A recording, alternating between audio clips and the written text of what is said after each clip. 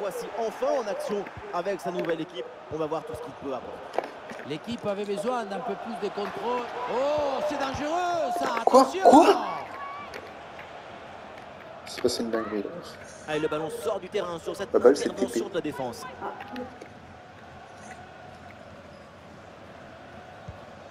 Jules Koundé.